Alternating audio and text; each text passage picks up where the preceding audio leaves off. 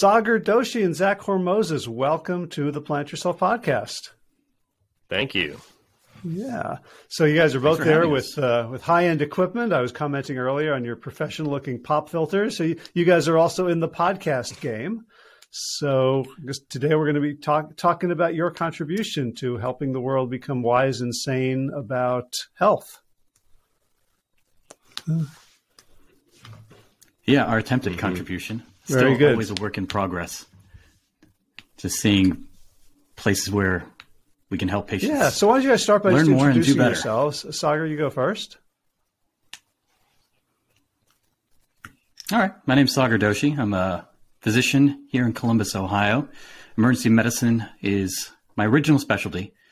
And then eh, we might discuss the story later, but I got into lifestyle medicine, got boarded in that, and now do both emergency medicine and lifestyle medicine here with Zak and in addition to opening up a clinic together and seeing patients, we also started a podcast to try and bring out some really good, practical information on how much control people have over their lives. Nice. When you, when you said that, I, I right heard now. mercy medicine instead of emergency medicine. I was wondering, like, that's that sounds like a really neat specialty. Sometimes. that's more that's more the realm of well, hospice. We, we all we all need care. mercy, but but sometimes it's uh, not. Anyway, so emer- ER, we do uh, emergency medicine and lifestyle medicine. And Zak, how about you? Uh, my really my credentials aren't a whole lot different, except that I'm just not boarded. Uh, studied lifestyle medicine with Sagar a bit, but uh, yeah, started as an emergency physician. Um, started getting interested in lifestyle medicine because of the changes it could make, uh, and then yeah, jumped on with Sagar to do our our clinic and podcast, and now here we are. Gotcha. And were you guys doing the lifestyle medicine thing independently, or did one of you drag the other one along? Yeah. Yeah. The latter. Well, no, not a drag, but when we realized we both wanted to do the same thing, it triggered us to just say, mm-hmm. okay, let's just do it then.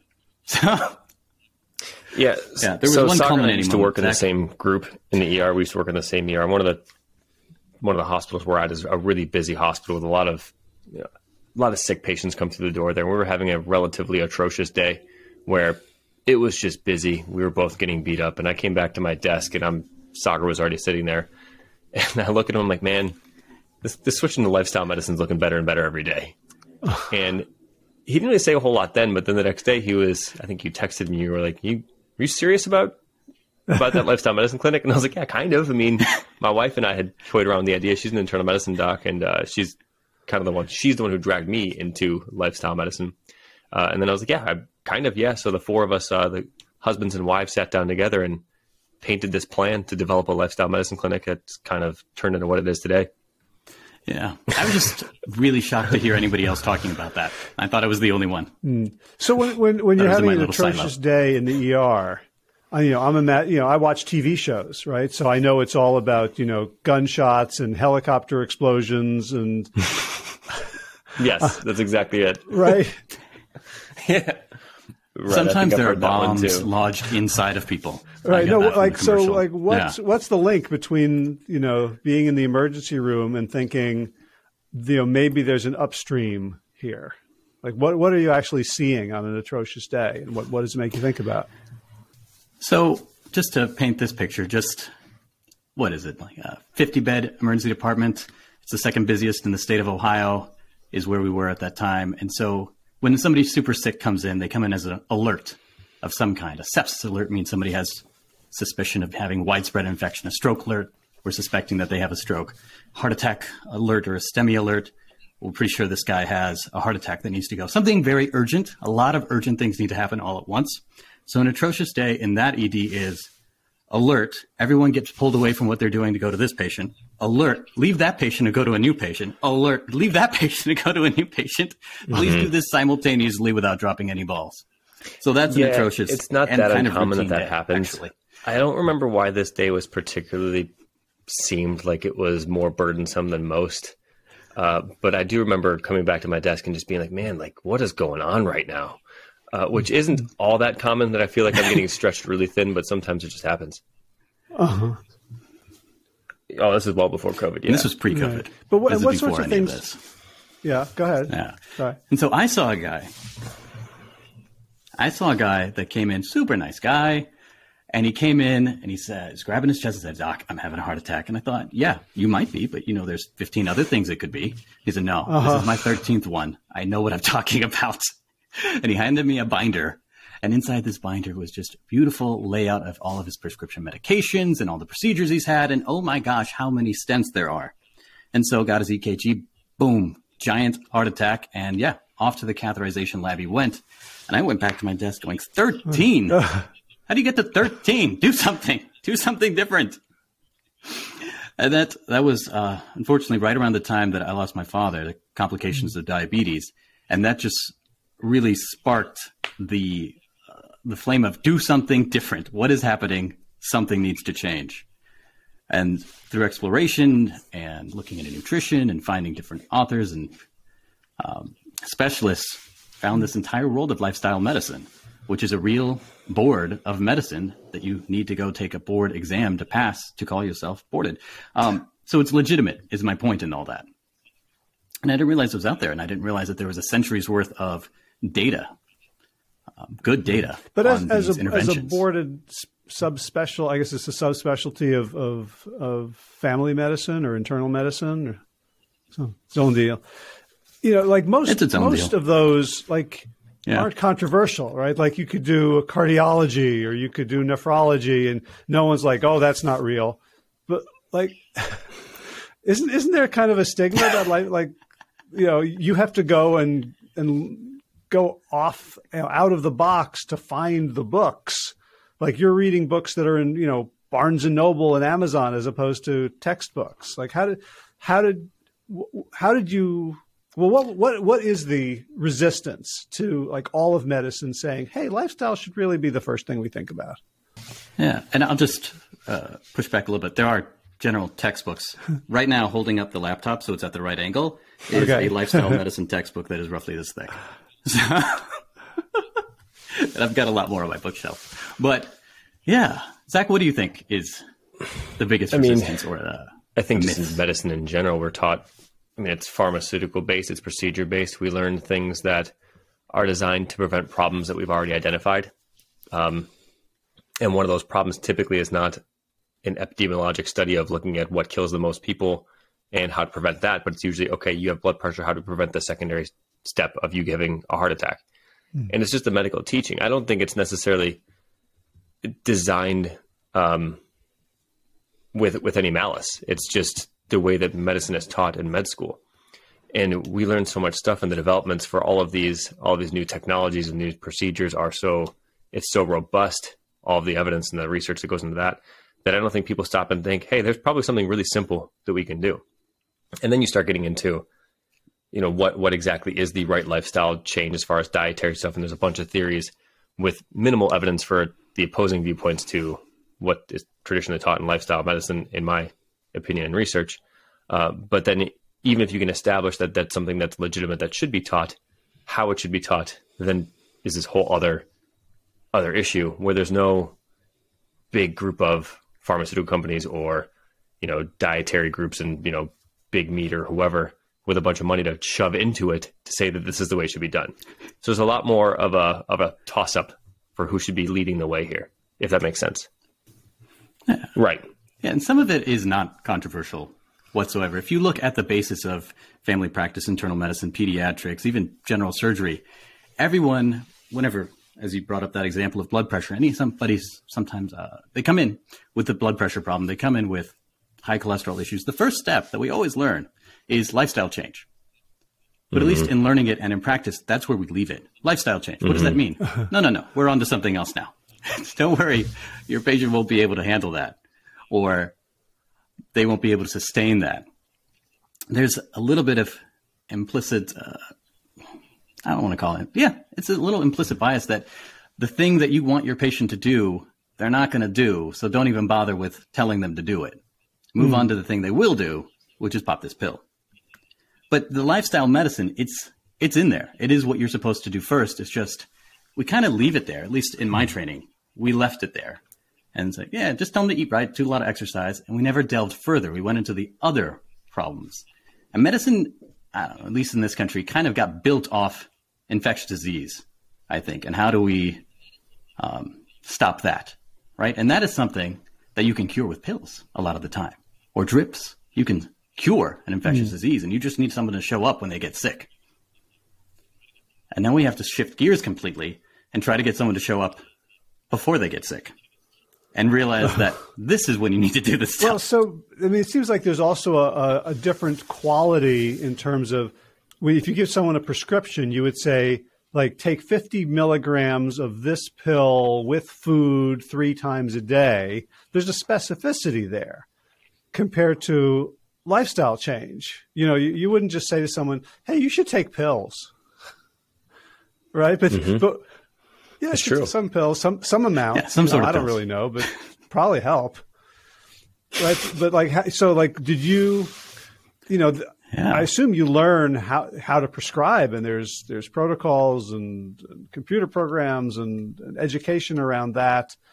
Whereas prescribing with that level of specificity around diet, I don't know that uh, many doctors are trained to do that.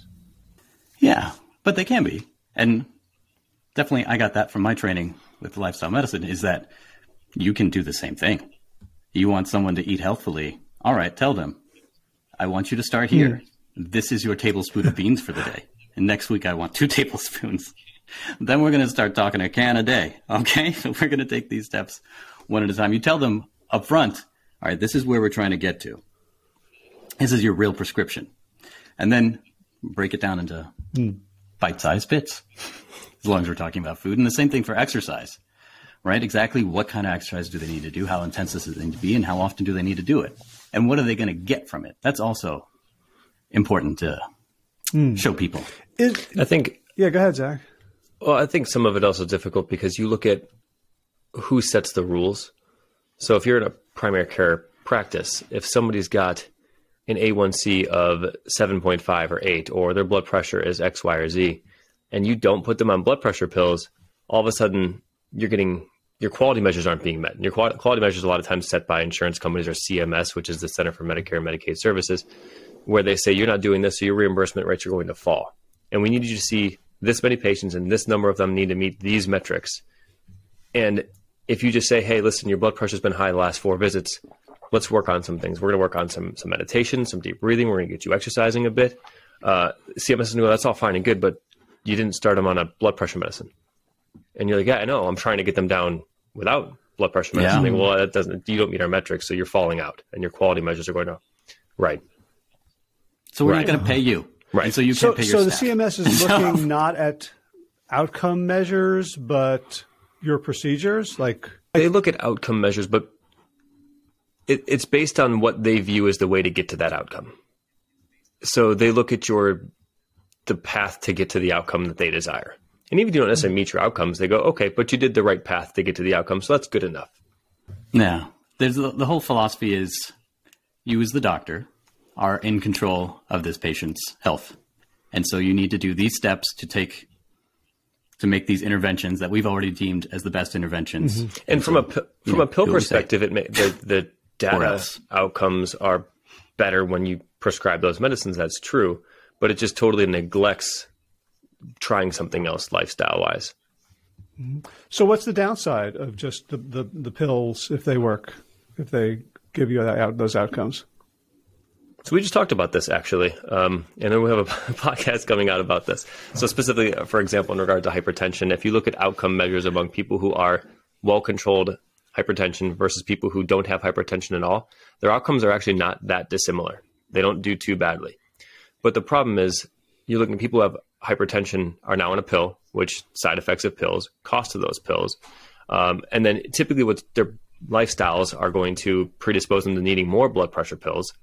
And then eventually they're probably going to need other stuff too, because, you know, they're eventually going to develop diabetes. There's just another study published recently that looked at the link between blood pressure and diabetes being kind of a comorbid condition, this metabolic syndrome we look at.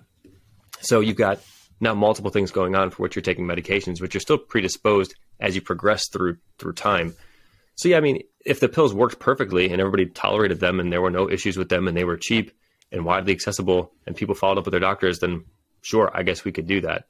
But the reality is that the whole of lifestyle medicine aims at just more than just a blood pressure target or just a you know blood sugar target. There's a whole wellness component of it uh, that isn't really quantified by a single thing, a single data point. Mm. So for for a patient, they kind of get to make a cost benefit analysis, but right now they're not being told all the options. Right, they're being told you have to be on this pill. And my understanding of for uh, blood pressure pills in particular is that they're pretty low compliant drugs. I guess people don't like a lot of the side effects, and so you can't even get people to do that, let alone you know eat broccoli. Oh, which is sad because a lot of the side effects for blood pressure medicines they all have different side effects. So if instead of just not taking their medicine, they talk to their doctor about better side effect profiles for them and their medicines, they might be able to switch around and take it. But still, it's just really hard to take a pill multiple times mm. a hmm. day, every single day for the rest of your life. And so people, you're right, people don't do it so much. Sometimes it's only half as half wow. of people take their medicines appropriately. So you you mentioned the podcast. So um, Zach, tell, tell me a little about the podcast. How did it start? Uh, you know, when we started the the clinic, we wanted to kind of reach out to people with I don't want to call it generic advice, but advice that wasn't necessarily specific to their situation, but also try to get some of our our information and our research out and our thoughts out on on lifestyle medicine. So Sagar and I just basically started recording conversations uh, that we would, we would have some kind of data that we would talk about or some kind of research and we would talk about it. And um, really, what happens is one person has done the research specific to that group of time, so or that period of time, where we'll talk about, for example, hypertension both did research on certain components of hypertension as it pertains to most recent data, and then we talk about that and get each other's reactions to it. Uh, and we just talk and talk about anecdotes that we have and things that we've seen with our patients, um, and kind of try to give people a better way of living life that isn't so okay, I know you have high blood pressure and this is your number, so this is what we're going to do with you. But say if everybody does these things, the data show that it's pretty beneficial. Mm-hmm. And then so many people don't even know what they have, right? Somebody tells them, by the way, in case anyone's listening doesn't know, hypertension is the same thing as high blood pressure. But people get told they have high blood pressure. And that's about it. Sometimes it gets explained to them, but not in a way that they understand. There's high blood pressure is lots of different things. There's a lot of different causes. And unfortunately, it all comes back to physics, which is, can be very understandable if you put it that way. But we were noticing a lot of people coming through, at least in the clinic and in the emergency department that didn't really understand the what blood pressure means and that it's not simply a lack of medication. So if you have someone that thinks that they have a medical condition caused by the lack of medication, we're doing something wrong. So because that's not how medical conditions occur. That's not why they occur. You weren't born supposed to be. Uh, there weren't blood pressure medicines in the breast milk of your mother, and then suddenly you came off of them, and there's been a slow increase ever since there. And thank goodness we gave you back some medications. There are other things going on. There are some causes. And if we can understand why the blood pressure is going up, then maybe people will say, oh, well, that makes sense. Okay, I will do what you're talking about mm. because I can and, understand. And I guess if you're just if you're just giving someone a pill, there's no need for them to understand. That's my hope, anyway. There's no there's there's no there's no benefit if if they have no if they have no internal agency over. It. I don't know. Yeah, I still like to try and explain it to people. I find that people tend to do um, better with things when they understand think, why they're doing things. And I think that's true of most anything. I mean, when I'm in the emergency department, there's a new order set coming through for a protocol. My first reaction is, why do I have to do this? Why? Mm-hmm. Who's benefiting from this? And if you sit down and explain it to me like I'm a child, uh, then I, I, learn a little bit. I'm like, okay, that's fine, that's reasonable. Uh, but yeah, in general, if I know why, I'm, I'm much more likely to be uh, compliant with whatever the request is of me. And I don't know if this is uh, just our personalities, but there's a lot of, at least my initial reaction to things, and I know this is Zak's yeah. initial reaction to many things. Is this? Mm, yeah. That's BS. no, prove it to me. That's BS. My, uh-huh. my wife had to prove it to me. She's yeah. the one who put down a bunch of papers in front of me and made me believe it. When I first, when she first told me this, and I was like, "That's crazy." I don't have any likelihood of having heart disease. I don't need to do any of this stuff. And then uh, she put down papers, and I was like, "Oh, this sucks. Now I have to deal with this and listen to it and actually do what the papers say that I should do." yeah. Well, it's. I mean, one, one of the reasons I really enjoy your podcast is that attitude that you know we we live in such a you know dualistic world in which you know it's you're either this or that, and once you have your opinion, then you're going to die on it. Mm-hmm. Right? That's it's really nice to you know, and and it's and it's just as true in the plant based vegan movement as it is eh, you know in paleo or keto or carnivore or anywhere else. That I just see you know we just keep looking at the same data and we ignore other data. And I really appreciate that you guys are just, it seems like you guys are just looking for what's true. Mm-hmm. Yeah, and sometimes that matches up with yeah. our preconceived like, well, notions, and sometimes well, like we were both we were both equally like surprised with medicine. you know the the point that we just mentioned earlier that blood pressure that's well controlled has the same outcomes as people who don't have high blood pressure. That if you do have a diagnosis and it's well controlled, we were both like, really, that can't be right. And we looked at him and like, all right, I guess it is. That's strange. All right, I guess we gotta, I guess we gotta think of, yeah, because yeah. we gotta deal with this now, right? Can't put this can't put this on a t-shirt. Yeah. And then it comes back to a lot of exactly. what you put on the t-shirt is it depends. Because that's what a lot of it is, right? It depends. If you are a super healthy 25 year old athlete and your family history is full of very healthy athletes and everyone's not getting dementia, everyone's living long, eating the same stuff that you are now, you know what? You could probably eat whatever the heck your family has been eating. And if that's pepperoni mm-hmm. pizza, all right, I guess that's going to work out for you. But on the other hand, if you're talking about someone who's already had a heart attack or a stroke or suffering from other chronic conditions, uh, you got to put the brakes on and start going in reverse. So it really depends on what the situation is and what the condition so, is. If you guys are talking about, you know, reading study like for your podcast, just reading up a bunch of studies and then talking about it, um, compare compare the amount of research you have to do with like normal doctors. like, you know, like do you do do you have do you do more to you know, I, I mean, just I'm not really sure. Like someone who's you know been practicing for 20, 30 years, are they constantly like reading five, six new papers a week? Like, what's what's what's your experience of doing research in this in, in, in lifestyle compared to other fields? I'll I'll start it. You want to take that, Zak? Because uh, and spin it in a way that your wife. should, we get, should we get her on the call life. too? She would have. She would be great on the call. Uh, but um, I think right now, um, if you compare us to other people, basically we're relearning things that we weren't taught. So I would say in general, we're probably reading a lot more because we're basically learning a new specialty as mm. we go along here. It would be not dissimilar from, you know, somebody who's you know in family practice decide and they want to start studying nephrology and they have to read and try to become an expert in that field all of a sudden. So I think that from that standpoint, we're probably doing a lot more reading. And then in general, I would guess that the answer would be specialty specific. You know, if you're if you're a an electrophysiologist and you're doing pacemakers and all these strange, uh, or, or, I shouldn't say strange, but these uh, you know new and upcoming devices that you're putting into people and the indications for them, you're probably reading a lot more than somebody who's been practicing in a rural area where patients don't have access to a lot of uh, you know different medications or they don't have great insurance coverages and you're basically going with what's tried and true cheap medications to keep people out of the hospital. So i think a lot of that specialty specific but i would assume that people who are more highly specialized are doing a little bit more um, new and upcoming paper reading than than others. Okay. yeah and i would i mean i would disagree with that. Based off nothing because I, I haven't read any data on this, but this is my opinion anyway.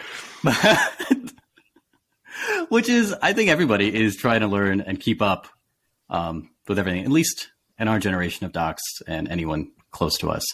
i have definitely seen examples of people that have been in rural settings for many decades that eh, aren't up on the newest treatments and what you do need to do and not need to do. But in general, everyone's trying to stay up to date, on top of the stuff, consuming whatever kind of continuing medical education that they need to, um, which is usually, I think, you know, if you add it up, multiple papers a week. I think that's fair. I think what I what I meant though is as far as like new developing data, like if I'm if I'm stu- you know practicing in the emergency medicine, a lot of the stuff that we read about is throughput information that has nothing to do with new technologies or medications. It's how do I run my department to make sure the patients are quickly taken care of and effectively taken care of, not totally regard, you know, not even considering medication usage or whatever. Of course, we're still doing our stroke continuum medication, uh, CME, and uh, you know STEMIs and surgical emergencies and things like that. But uh, you know, if I'm looking at a, a, rural population, it's okay. How do I get compliance? Or I shouldn't. Maybe, maybe I shouldn't keep using the rural. But if I'm doing family practice, it's a lot of it is how am I getting compliance out of my patients? What techniques am I using? I don't care about the new, you know, bariatric surgery protocols. Mm-hmm. I don't care. It's not. It's not relevant to me. It's not what I do. Uh, so I, th- I think that's what I mean by that. Uh huh.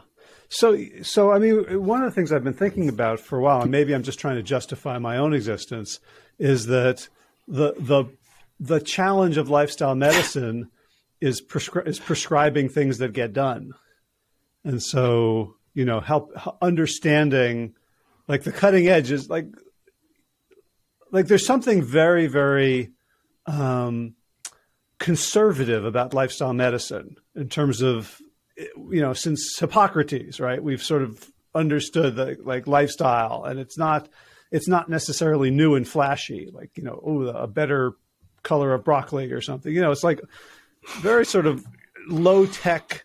yeah, broccoli Romanesco. right?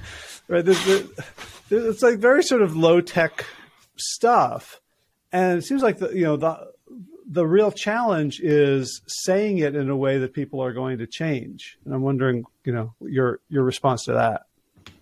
Yeah, or you know, as I've learned from others like you, uh, listening in a way that lets people change as well, and letting them uh, make some of those crystallizations and realizations through their own thought process and through trial and error.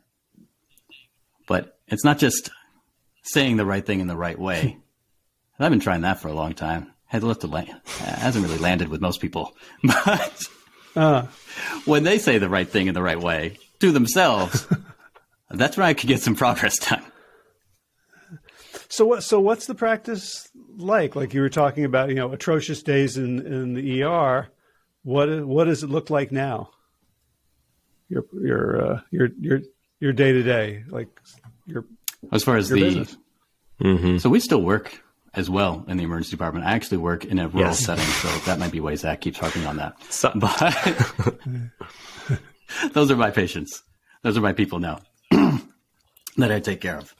And so on those days, those are those days. That's the emergency department. And when it's appropriate and there's time for it, try to break the ice and say, Hey, have you ever considered, you know, these other ways that you might be. You, you want to listen to this thing because there's some other ways to approach this. And sometimes I hear yes, and sometimes I hear no.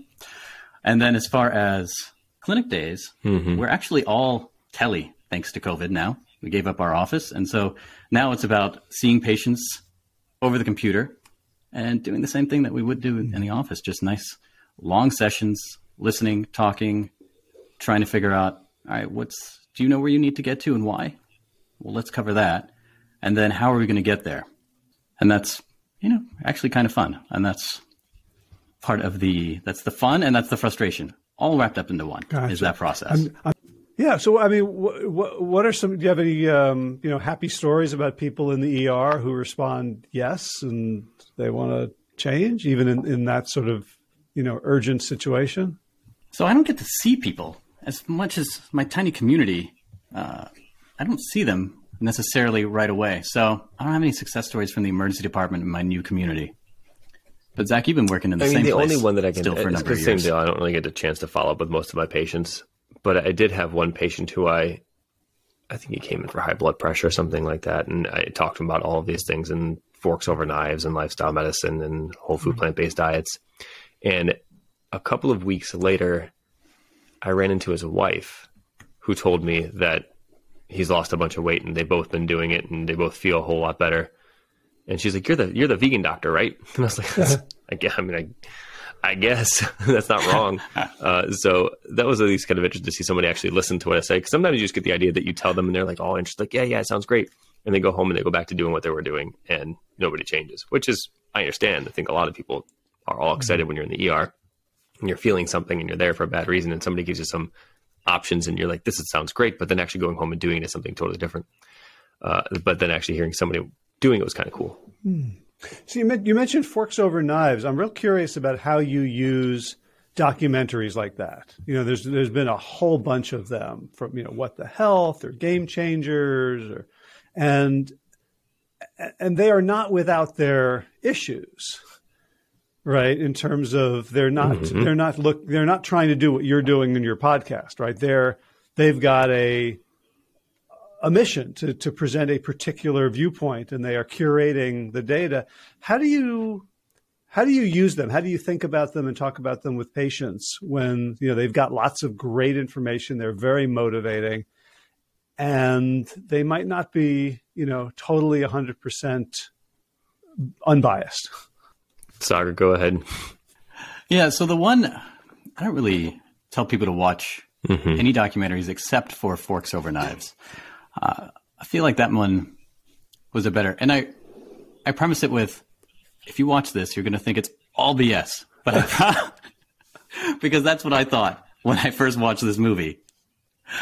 And then I started doing research and going, oh, okay, this might be real. right? And so I, hmm. I've warned them that about that process that they may go through, and that at the end of that, they need to come back, either talk to me or talk to somebody who's a physician who's going to understand that perspective. And I try to refer them to the ACLM or the American College of Lifestyles Medicine directory on lifestyle medicine doctors are out there because there's a bunch of people that who oh, may not they may not be able to come back to me. I'm actually not allowed to tell them to come to me due to laws about being a physician. Um, but they can find somebody else online and and get care there. So they get interested, maybe they do some changes, but then they're going back to somebody who can give them more unbiased data mm. and Is apply it, to their actual life and conditions. Yeah, go ahead, uh, I view it as a tool. Um, and you basically tell me yeah, there are a lot of cringy moments in those ones, especially what the health and uh, game changers. While I didn't mind those documentaries, there's points where you're just like, okay, like, yeah, the kid eating a big cigarette on his plate is probably not the best imagery to be like presenting yourself as an unbiased source of information here. Um, some of it tends to go a little overboard to me, but at least forks over knives, that information presented seems to be fairly legitimate. And again, not that the ones aren't, but that one's just basically like, hey, look, this is the diet that I'm talking about.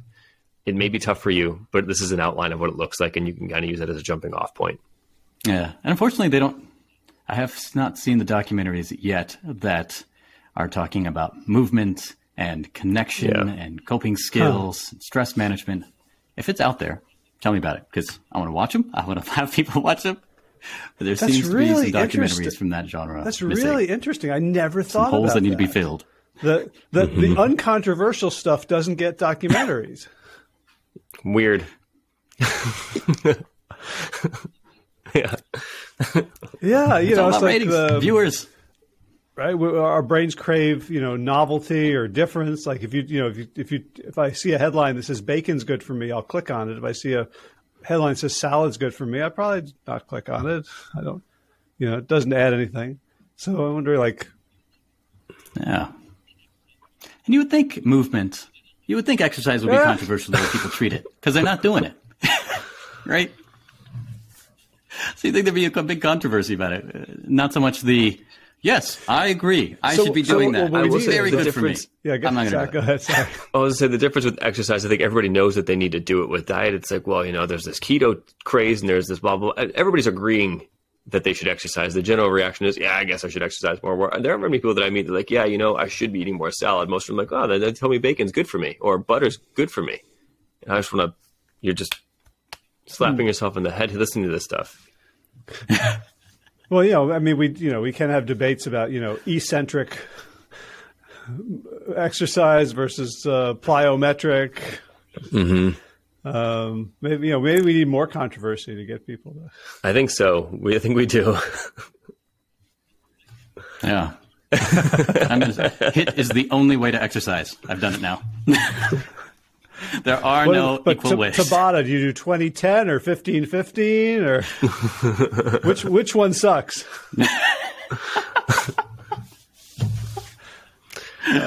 Whatever makes you puke more, that's the one you should go for.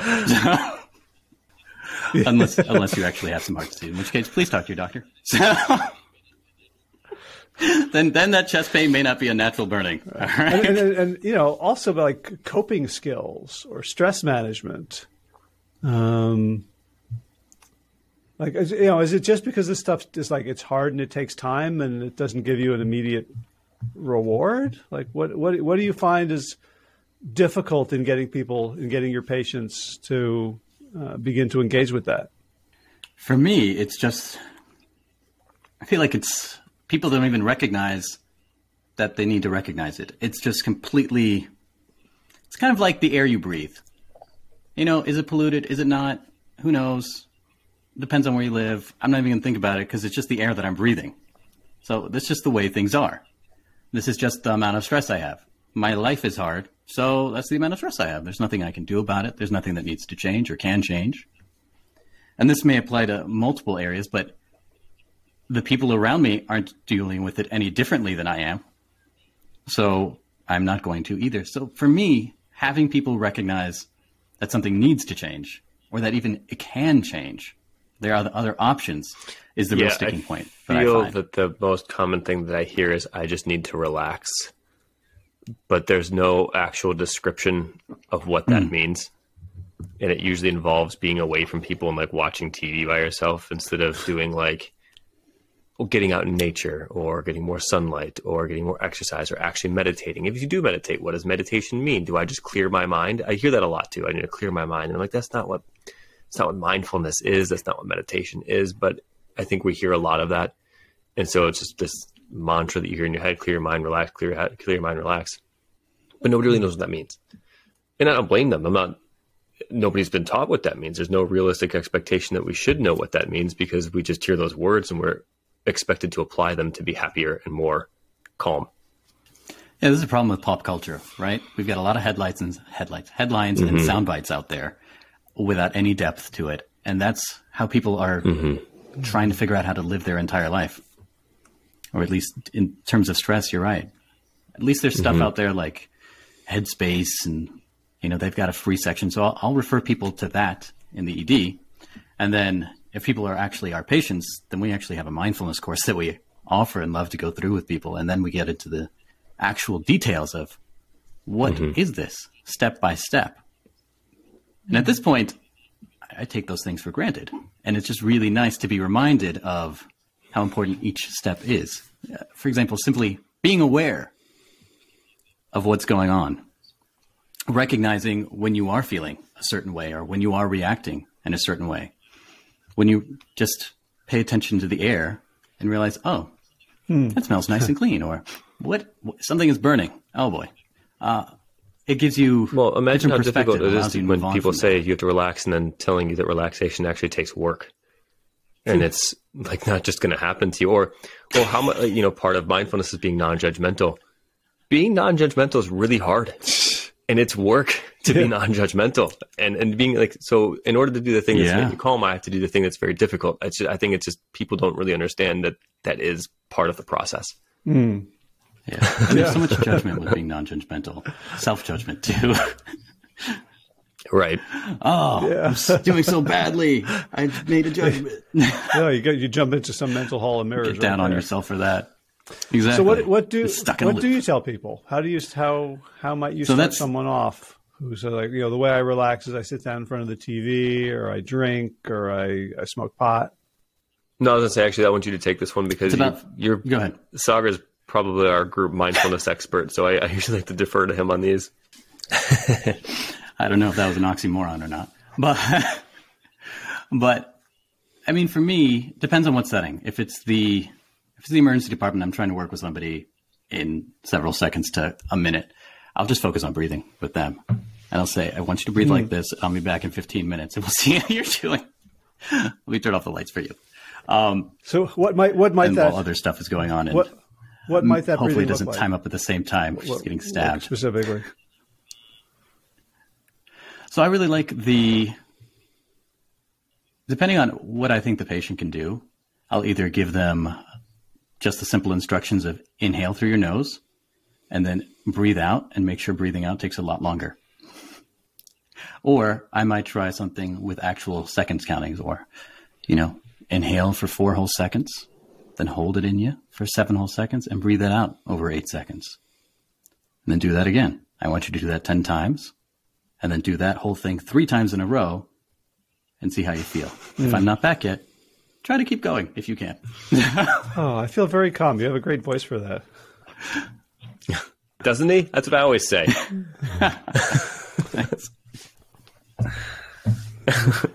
so as I'm rapidly saying it, and then jumping out the door to go see somebody else.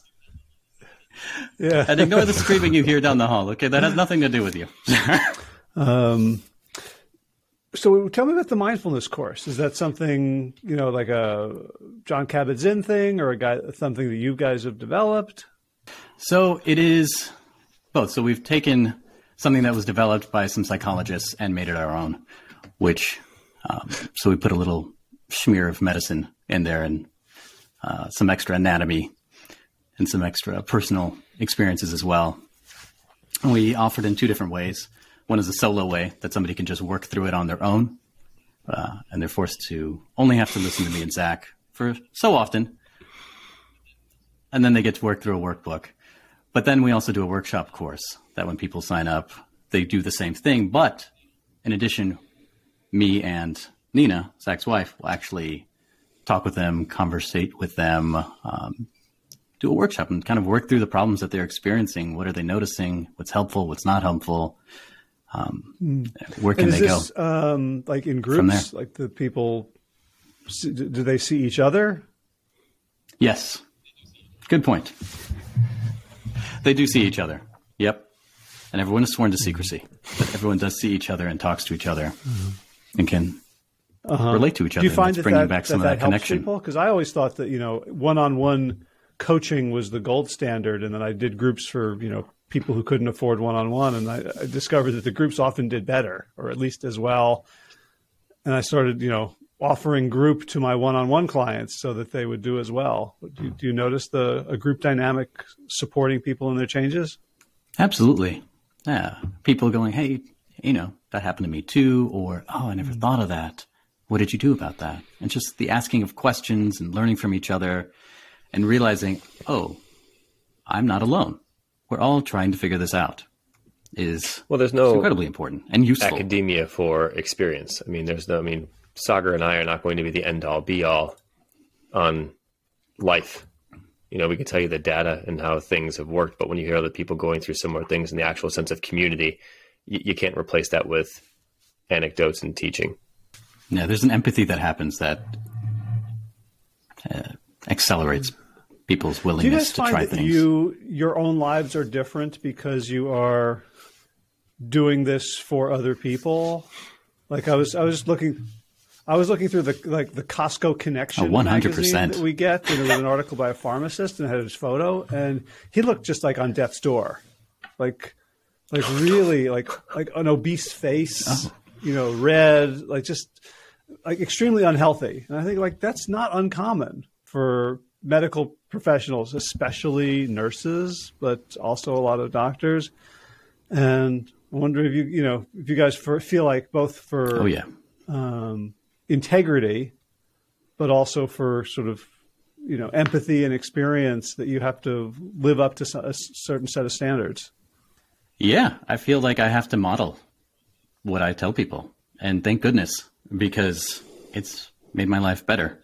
It's forced me to put effort in the right places in my life, uh, on the right. I mean, not the right people, but the people in my life, and then um, eat better, move better. Actually, have to do what I say. and it's fantastic. And my wife has said, even if your clinic fails all of this is for nothing, I'm so glad you're doing it because it's making everything better. I mean, my diet think, was Zak? already cleaned up by my wife, who was a little bit stricter than I probably would have preferred at first. Um, and I've always loved exercising. So that's a, I shouldn't say I love it. I've always exercised, even when I've hated exercising. Uh, yeah, but I, it, I don't always Which is like every it. Day.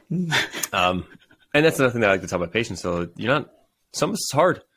I mean, a lot of the stuff, like, yeah, I don't, I don't like doing it sometimes. I don't like waking up before a, you know, a seven o'clock shift and going for a run. Sometimes it's hard. I don't, I'd, I'd love to sleep in. Granted, sleeping is important, to be clear, but um, you know, you get the point. Yes. Yes. Yeah, we didn't talk about that, um, but yes, I'm so glad you mentioned that. You know, I think that whether it's changed me, I don't, I don't know if I can say that, but I think that it's, um, I think I've already focused on a lot of these things and it's given me a little bit more of a sense of, okay, I think I know what I'm doing with with how to handle all, all of this stuff because I've always tried to live healthy. Uh, I just didn't necessarily know how to target all of that. And um, I think the biggest one that I was missing was probably my diet prior to Nina making me go whole food plant based. And now that she ruined that, my only outlet, I have to doing that. That's true. You can always true. I can start just every time I get you know, mad, just... I'll throw something in the wall around here or something. It'll work. I'm, I'm sure someone has a. There you go. I'm sure someone has a study saying that'll help you live longer. It's cathartic. Yeah, I'll write the study. yeah. Which is one of the key parts of reviewing an article. Conflicts so, of interest. Sleep is important. We haven't talked about sleep. What do you, what do you what do you see in the, in in your patients? Oh my gosh, so many patients uh, have it upside down mm-hmm. for a lot. Sleep comes last, and they want to make progress in the other areas of life. For example, weight loss or exercise. And for some of them, I say, okay, we've been trying it this way. We're making some progress. Let's try flipping this upside down and actually working on your sleep first, because four hours a night is really just much too short. This chronic well, insomnia yeah. is and destroying you. It's destroying your will and they get to go home on, from work and their decision making, all out. sorts of things. yeah, I know. Because you've been sleeping four hours a night. It's weird. So why uh, why are they sleeping four hours a night? What are some of the inputs that that cause that? TV is huge, as is the phone, as is, and here's a hard one: time with the spouse. Right? If there's a spouse that's involved, um, and maybe you work different shifts, maybe this is the time that you can connect with your spouse after the kids go to bed, but then you got to stay awake, and then you got to wake up early because that's when work happens. That's a tough one. Or a lot of the times, um, there's something going on as you know self-medicating, be it with alcohol, and that's the time to do it, or it's with television and something happening on the iPhone, tablet that is acting as self-medication to calm their stress because they don't have another different well, coping and mechanism. even coming back to some of their stuff with like the mindfulness that, and trying, you know, the amount of calm and stress that that gets rid, or the calm that it brings and the stress release that it, that it causes. When you're carrying all that stuff to the bed at night and like that's now your time to process all of your stresses while you're lying in bed staring at your ceiling not a great time for it and then when you're sleeping you're waking up and getting bad sleep your cortisol spikes at three o'clock in the morning people are like why am i waking up at three o'clock in the morning? It's like oh it's probably because you're stressed. Mm. uh, nina tells me this all the time when she has patients that wake up in the middle of the night she goes is it three o'clock in the morning? They go yes. How did you know that? Yeah. and she's like because it's it's circadian. Like this is just what people do. Um, so what, so yeah, what, what is it what is it about three o'clock?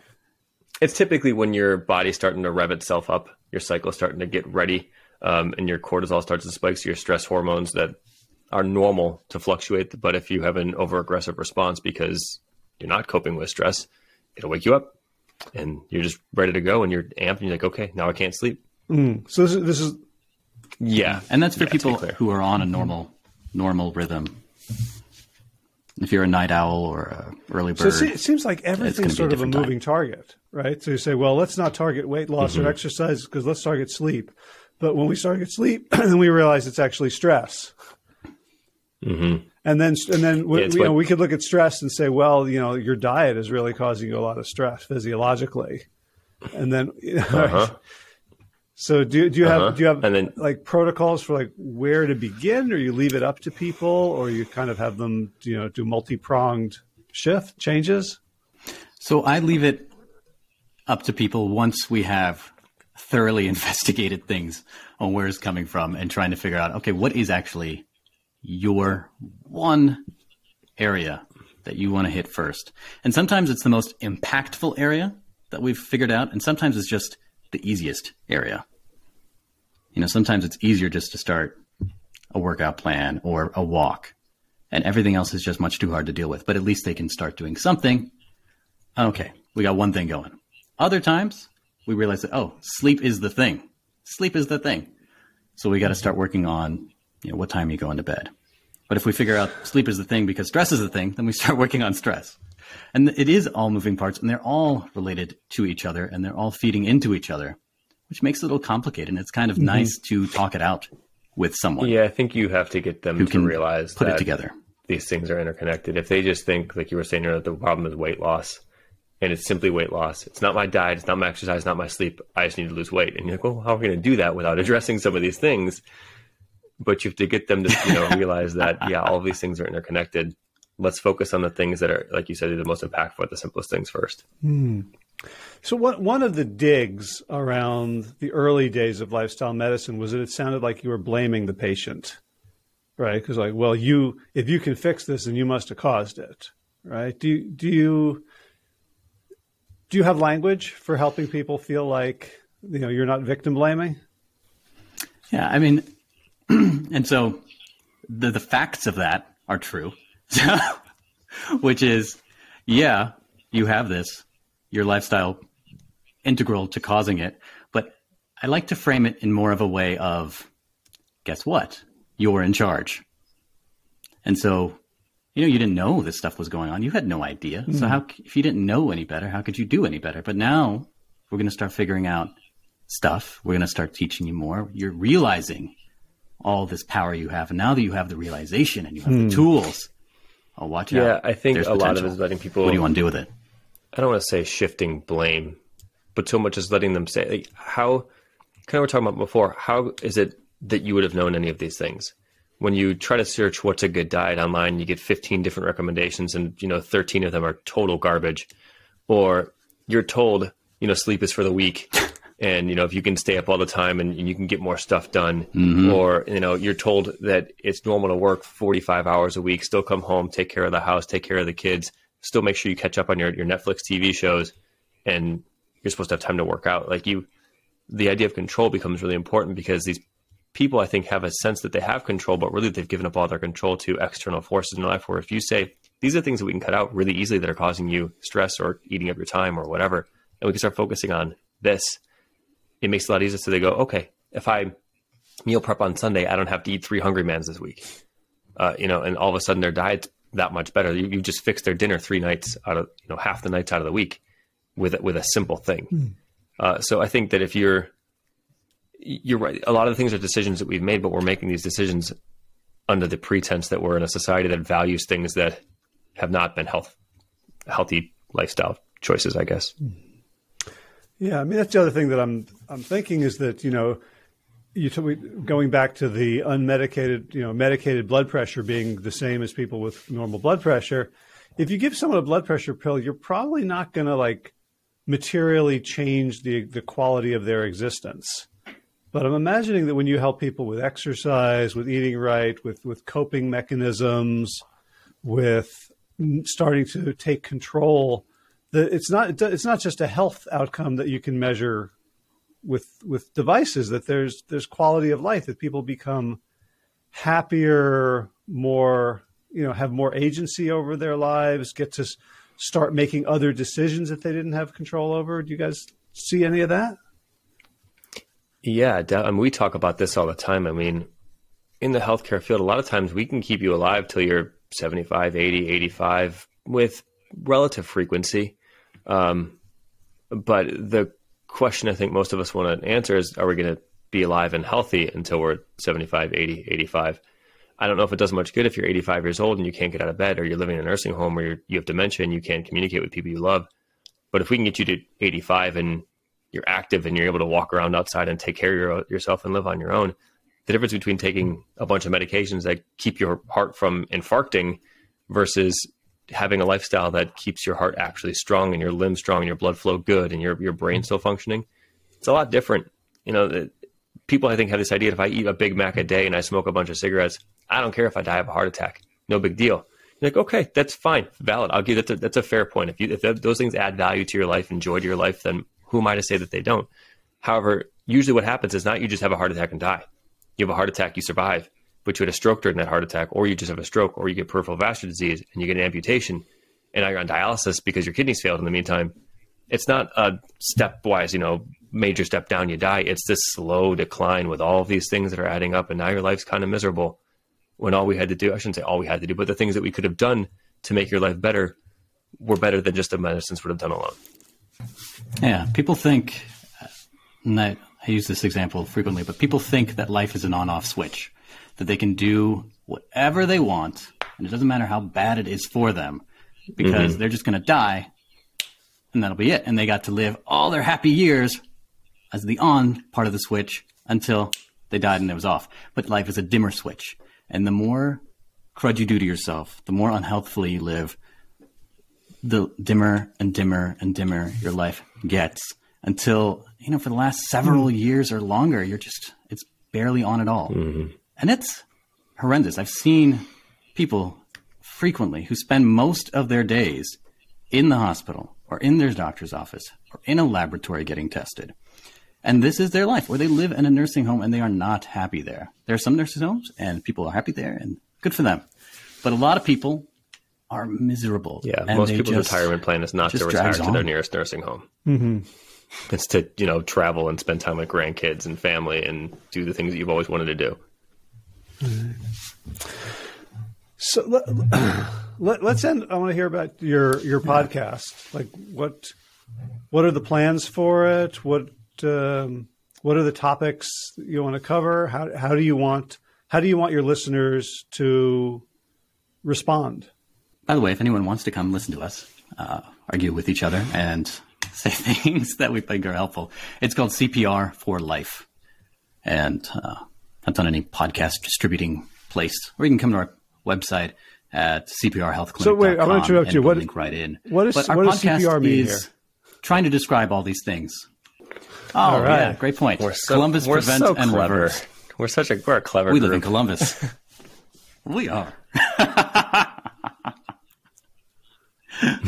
Bringing back that life to the proper on position. Okay, yes, sorry, go ahead.